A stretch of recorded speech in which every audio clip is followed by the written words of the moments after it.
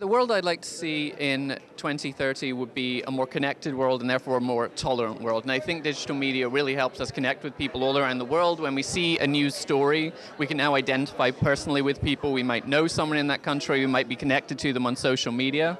So I would like to see a more connected world and therefore a more tolerant world in 2030. I'm representing and got to read out goal six, uh, which is which is about. Uh, sanitation and access to clean water. So, a uh, billion people in the world don't have access to clean water and proper sanitation. Uh, we'd like to try and fix that by 2030.